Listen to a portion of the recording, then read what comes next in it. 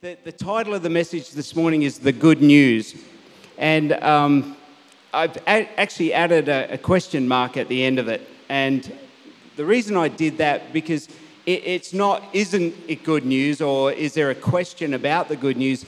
It's because a, as a Christian, sometimes I found myself um, saying, if it's that good a news, why aren't I sharing it more?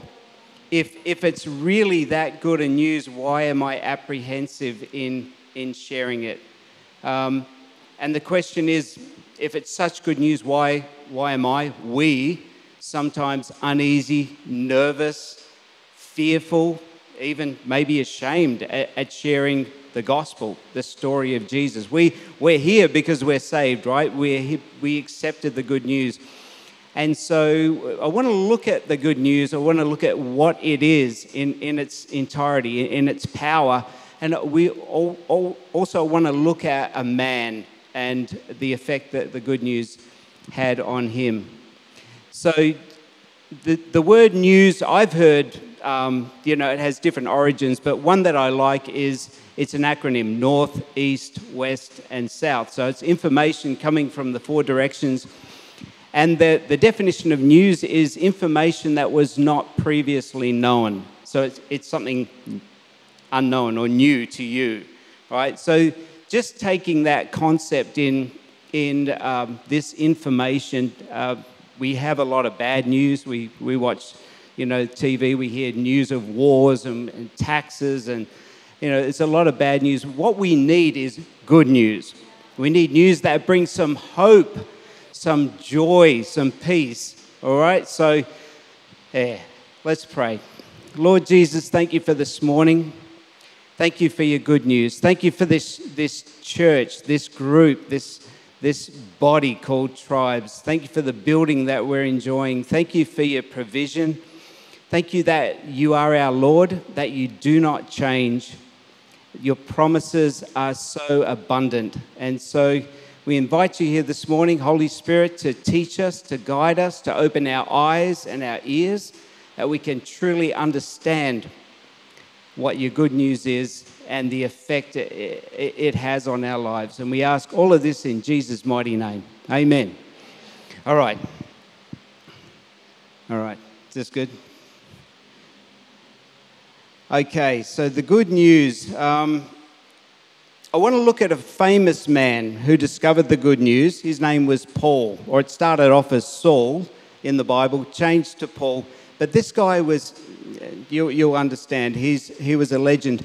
A little bit of background on him. He was born roughly the same time as Jesus, so he knew who Jesus was. He was born, um, some scholars say, 5 AD to 5 BC, so he may have been a few years older or younger than Jesus.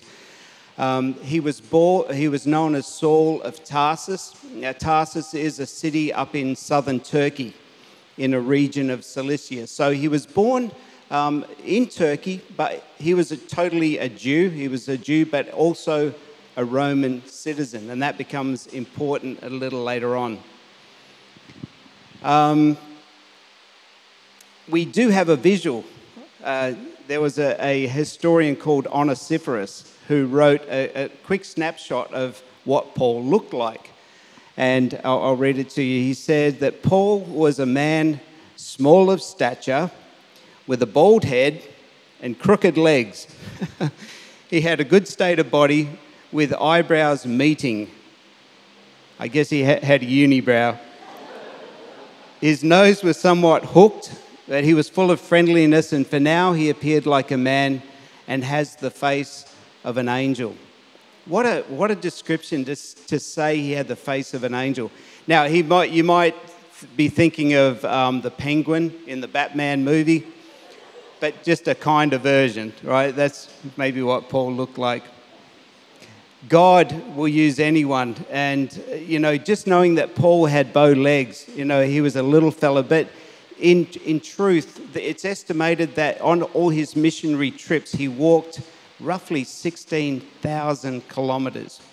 So those little legs carried him all, all over Asia, Greece, everywhere, sharing the gospel. So, yeah, I find encouragement in that.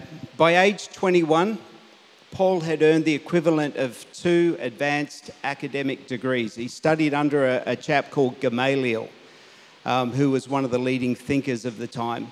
So Paul was up there. He was a, he was a bright spark.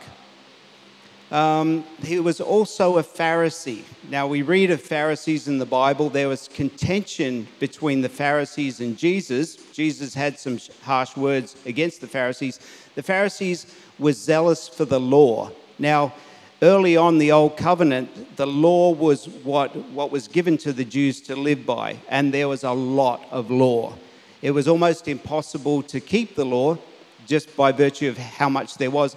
And actually, if you visit Israel today, they still hold fast to the law. For example, on the Sabbath, um, you can't turn the tap on to wash your hands in the bathroom, so you have to have water there so you can just dip your hands in. So it's, it's kind of rigid.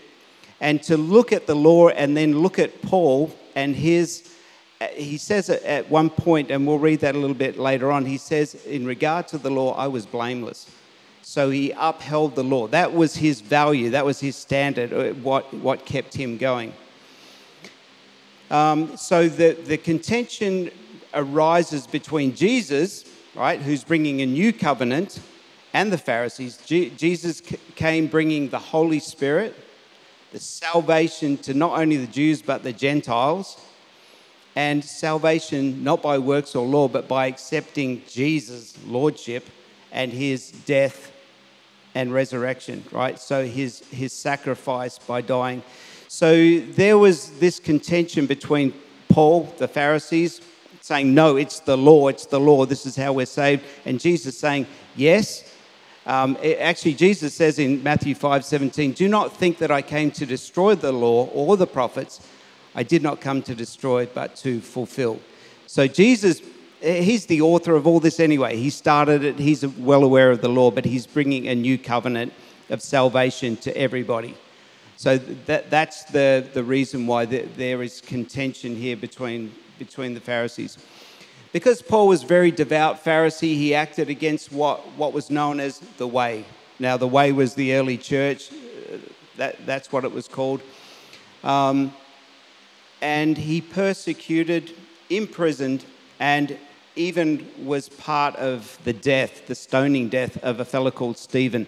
Stephen was a Christian who was full of faith, full of power, just did amazing things, and was unfortunately stoned to death. And Paul, uh, the Bible says, held the garments of those people who were stoning him and watched it all happen. That's important because I'm, I'm kind of building a little bit of a picture here of, of who Paul was. I will just call him Paul because Saul was uh, his old name we know him better by, by Paul. So, Paul may have even sat with the Sanhedrin at the trial of Jesus. We don't know a lot, but we know that he was there. He knew who Jesus was, Jesus knew who Paul was. Yeah, okay.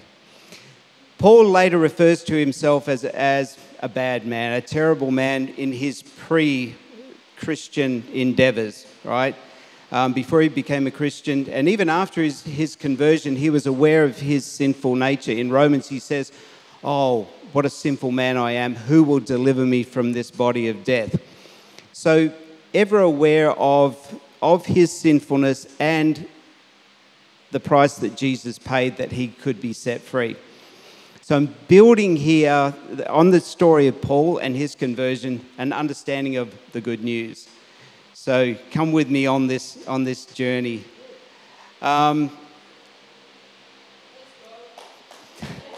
Paul, in his zeal, was not only content to persecute the Christians in Jerusalem, but he'd also got a letter from the, the chief priest in Damascus. Now, Damascus is up in Syria. It's still there today. You might have heard it, about it in the news. It actually plays into the end times as well. So, Damascus is a city and Paul had got a letter. He was going to go not on like a missionary trip, he was going to do a persecution trip. You know, let's go and round up some Jews and we'll drag them back to Jerusalem and, you know, teach them a lesson, those beggars. Um, Damascus, like I said, is a city still in existence today. Um, it was on this journey, just as he got to Damascus. It was here that everything changed for Paul. It, yeah. It was here that he encountered the power, the power, and the authority of Jesus. Now, he'd known Jesus as a man, but now he's going to meet him in a different way. And this was awesome for me because reading through this and studying Roman, uh, sorry, Acts was, was epic. The, the, the Bible, we're, going to read some more of it um, in a minute, but it is so packed with information and secrets and revelation and aha moments. And it's like, my gosh, yeah. All right, we'll read a bit more of that in a minute. Um, so it was here on, on the road to Damascus that he would shift from being probably the Christian's biggest human enemy to now possibly one of the greatest evangelists that the world has ever seen. And he went on to write roughly a quarter of the New Testament. So that's, that's a big feat. Let's take our Bibles out and turn to um, Acts chapter 9, verse 1.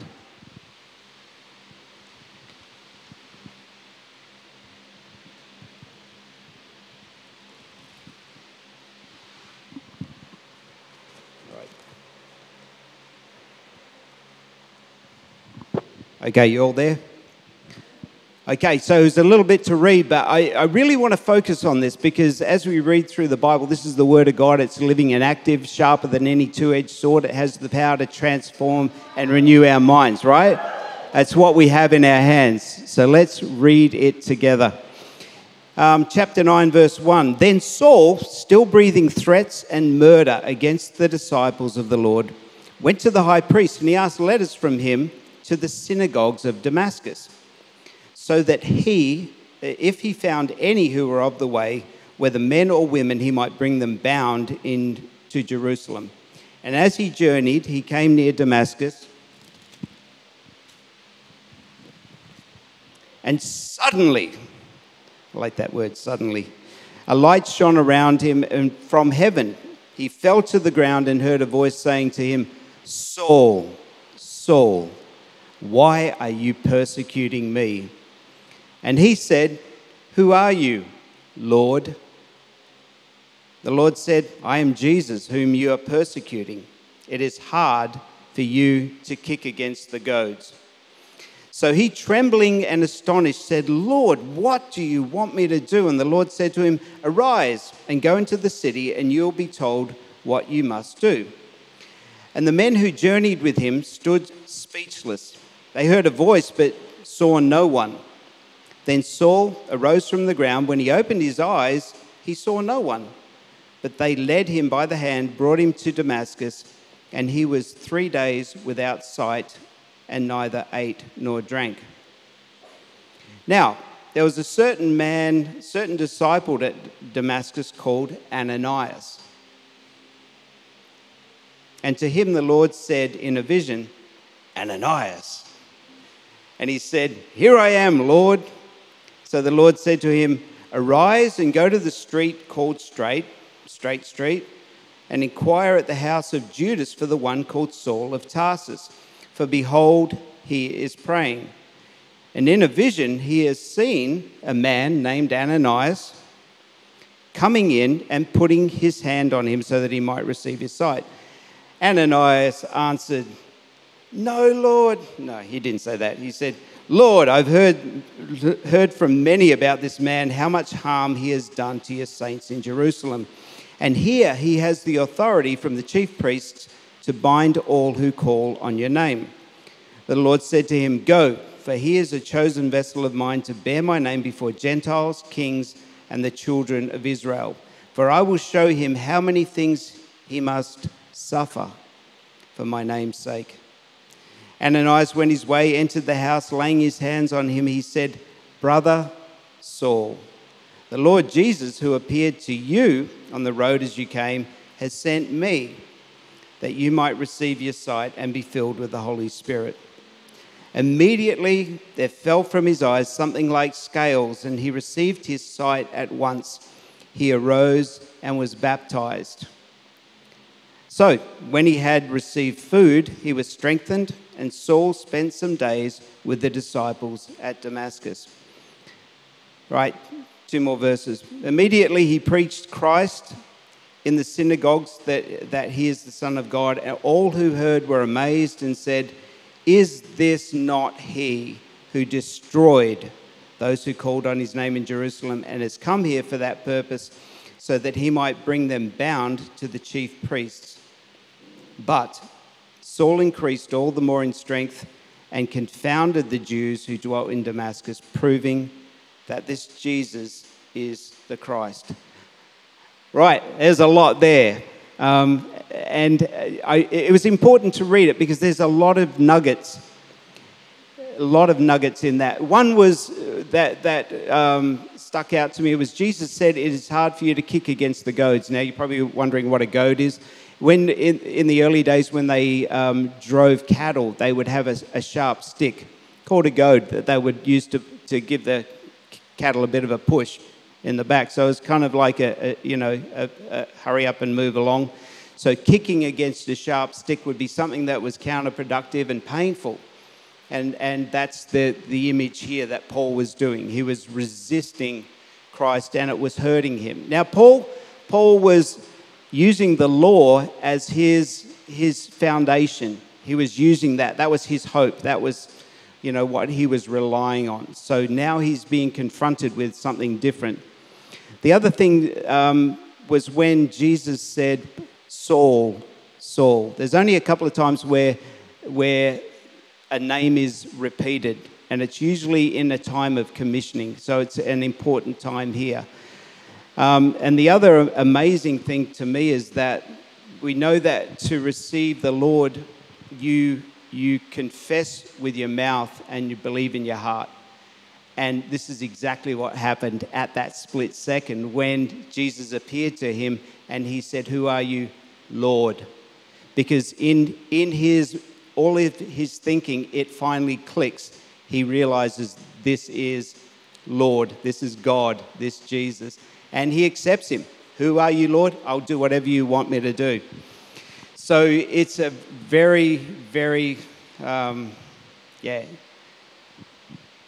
that leads me to my second point exactly that I it's called didn't see that coming and I'm sure Paul was right there saying my gosh I came here to persecute and then all of a sudden I, I I'm stopped dead in my tracks and I am turning about face 180 degrees and, and going the opposite way in, in my thinking and my purpose. So we know also that it was midday Paul says later on in Acts 22 6 that it was around noon. So the sun was really bright and then a light from heaven. So it was really uh, a miraculous occurrence, right? Paul was blinded. He fell down. Um, when he opened his eyes, he couldn't see. So, so that sets that up. The, the awesome thing, too, was that God appears to Ananias and says, Hey, go and find Saul. And he appears to Saul and says, Ananias is coming to restore your sight.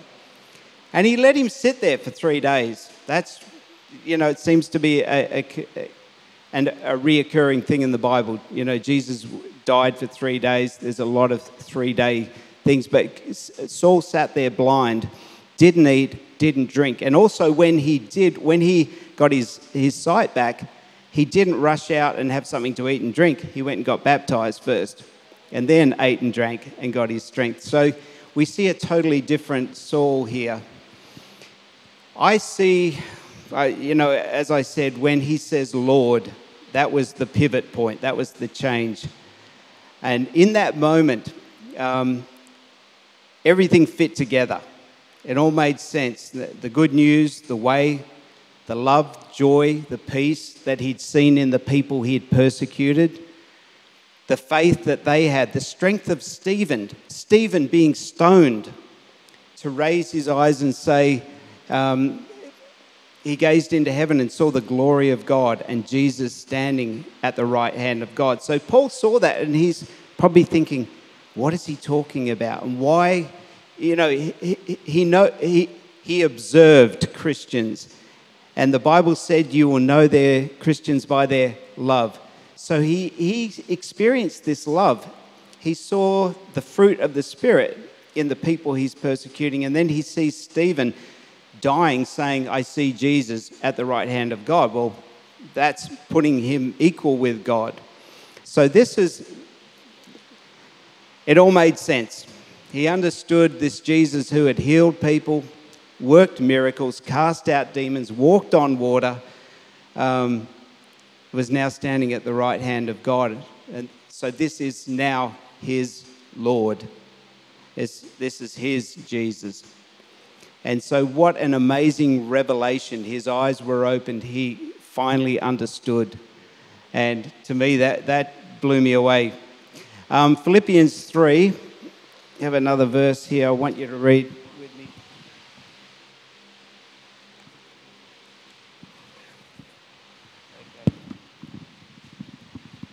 So, Philippians 3, um, right in the middle of verse 3, um, who worship God in the Spirit, rejoice in Christ Jesus, and have no confidence in the flesh. Now, Paul here is talking about the flesh. He's, he's kind of bragging on who he was as a man, his upbringing.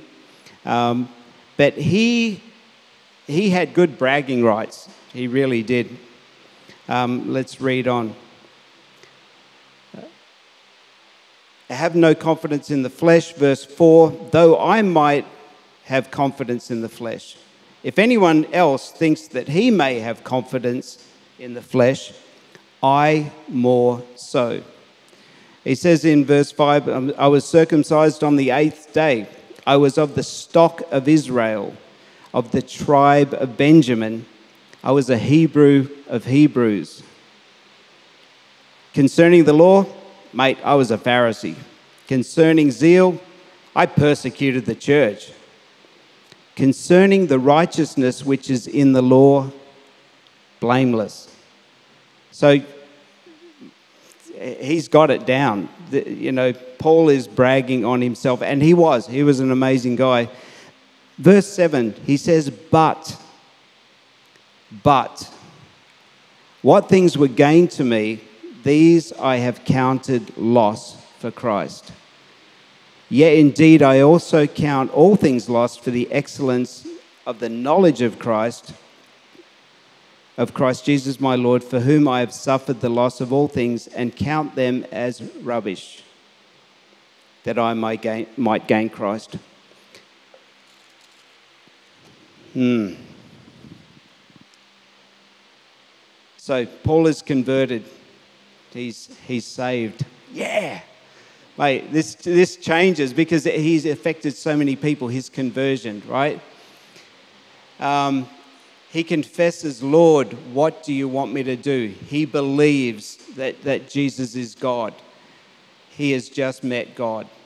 Uh, we're told that he fasts and prays, as I said, for three days, receives his sight, gets baptized, and then he, he eats and drinks, and then straight out to preach in the synagogues. He's unstoppable. And, and I want you to read, um, I can't do it now, but I want you to write down if you're taking notes, 2 Corinthians 11, that whole chapter, because Paul talks about the things that he's gone through for the, for the gospel. He's, he's whipped. His back is, is literally opened up by being scourged. He is shipwrecked. He is stoned. He is actually stoned to death. And uh, they pray for him. He comes back to life. He says, I saw heaven. And then he turns around and goes straight back in to keep preaching the people that stoned him. So he, he's a legend. He goes on to live an extraordinary life. Um, as I said, write it down. Go home and read about, read about Paul. Be, be amazed. Be impressed because I am impressed. And, and here's the takeaway he is, he is only one of the few people in the Bible who says, imitate me. I, I'll, I imitate Christ. The, the word says, imitate me as I imitate Christ. So he is saying, look at me as a role model. I don't look at like, you know, who I think I was wonderful. I'm only wonderful because of, and he doesn't even say he's wonderful, but he's following Christ right? That's his salvation, that's his new value. So, imitate me as I imitate Christ. Yeah. I really need that. I need a role model. I need a Lord. I need somebody bigger than me who's got it sorted out, who can take care of Murray, who has a plan for Murray, who has a hope. He, he's, he's made promises. And it's up to us, church. We need to read the Bible, find out what the promises are, stand on the promises. This is awesome, you know, and then to be salt and light to take that out to the world. I want, I want fires to light in each one of us that when we go out, we will light fires in other people. Yeah? So, the last point is is the good news really good news? And that brings me back to my first point is if it is really good news, why am I apprehensive sometimes in sharing it? Now, there's nothing wrong with being nervous or timid or even afraid of sharing the gospel. There's, there's a passage in the New Testament where Paul said, I was terrified, I was shaking. And not because he was scared, but because the gospel is a simple message that, in, in this case, it, it appeared to be foolishness. Right? We want to go out, we want to convince people how wise we are and how we've got, you know, a new take on something and how clever our argument is. The gospel is not that. It's a simple message that appears foolishness, but that's the, that's the beauty of it. It's where God works, it's not Murray working. It's God working, and, and we, our mandate is to go and share it. Jesus, God gave us a, a couple of commands. One is to go into all the world and make disciples right? We go out and share the gospel. And sometimes it's, it should just be a cut and dry thing, an easy thing. Just, just do it. Don't argue about it. Is the good news really good news? Well, what determines the, you know, the urgency of the news is, is maybe the magnitude of the news. Is it big news? The implications. Um, and, and for example, the implications, uh, you need to act. Say we just got a ping on our phone saying there's a, a tsunami headed towards Perth. Um, you better get up the top of Greenmount Hill uh, in 45 minutes or you'll be, um, you know, inundated with water and drown. We'd all be out the door because there is, uh, you know, urgency in the news, right? We, we need to act. Some news is pretty mundane you know, oh, we got a new footpath uh, down in Perth and, you know, it's, it looks really good. Well, it doesn't really affect me and it's not really urgent. So some news is more impending than others. Um, and also, we need to look at the source of the news. Yeah? In this case, it's a trustworthy source. This is Almighty God, the author of life. And so the gospel then, the good news has magnitude, it has implication, it has a trustworthy source. And so we need a Lord. That's my conclusion. Paul needed a Lord. His Lord was his, his law, and it shifted to Jesus. And he realized, mate, this guy, I can trust him. He's not going to back down.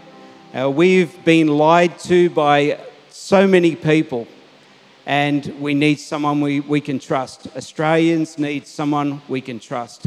And I submit to you, it's Jesus. It's Almighty God and the Word of God.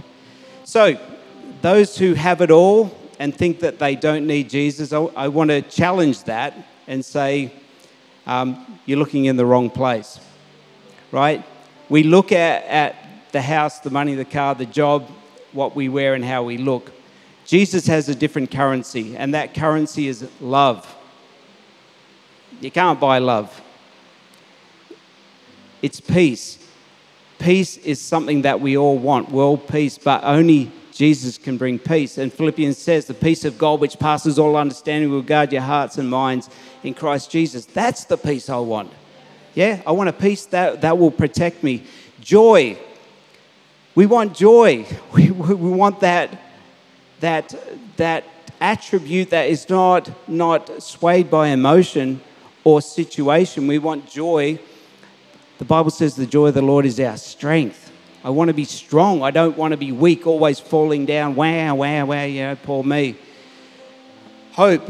Hope is a huge one. And hope is, is looking forward to something. Whether we have short term hope, of like, oh, we're, we're going out tonight, or we have, we're going on a vacation in a month, or we're going to spend eternity with Jesus. Hope is so important. If we have hope, the Bible says hope deferred makes the heart sick. Again, the good news is all of these things love, joy, peace, hope, forgiveness. We're all sinful. We've all fallen short of the glory of God. We all need to be saved. And Jesus says, I, have died for all your sins. I will, I will forgive you. And then abundant life. And there are so many here, but I'm just stopping here with abundant life is all the attributes of life amplified. And I look around us here and we, we have abundance here. Look at all the faces and the joy. It's like, wow, this is the fruit of knowing Christ.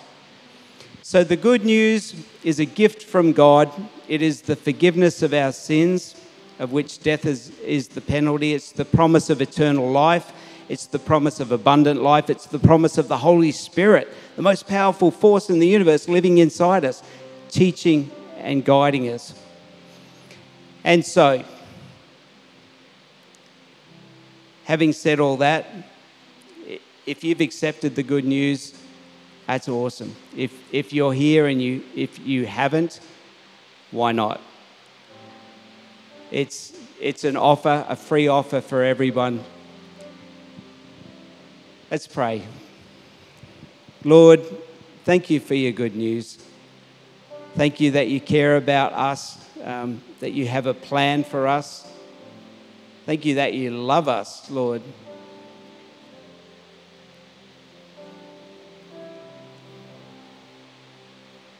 I thank you for the, those who, who have accepted your, your gift of eternal life, of the good news, Lord.